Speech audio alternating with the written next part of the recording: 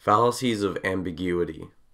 Fallacies of ambiguity occur when some word or phrase in one part of the argument has a meaning different from that of the same word or phrase in another part of the argument.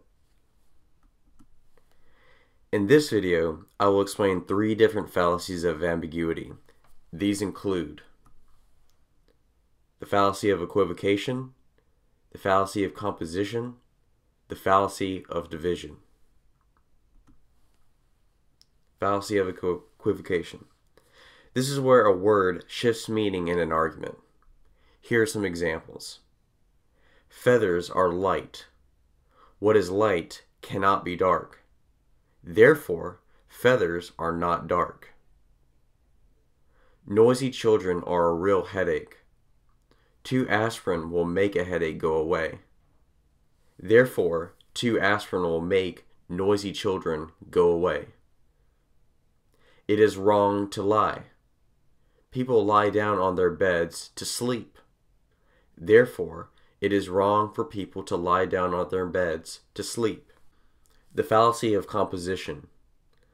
This is where one invalidly infers the quality of the whole from the quality of the parts. Here are some examples. Every man has a mother. Therefore, the human race has a mother. Atoms are invisible. I'm made of atoms. Therefore, I'm invisible. If a runner runs faster, he can win the race. Therefore, if all the runners run faster, they can all win the race. The fallacy of division. This is when one invalidly infers the quality of the parts from the quality of the whole. This is the opposite of the composition fallacy.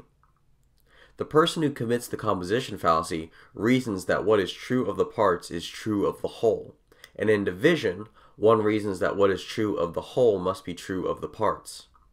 Here are some examples. The universe does not have a cause. Therefore, everything in the universe does not have a cause. Men commit most of the murder in the U.S. Ben is a man. Therefore, Ben must commit most of the murder in the U.S. Most opposition to abortion comes from the Republican Party. Michael is a Republican. Therefore, Michael must account for most of the opposition to abortion from the Republican Party. That concludes my explanation of fallacies of ambiguity. In the next video, I will cover even more informal fallacies.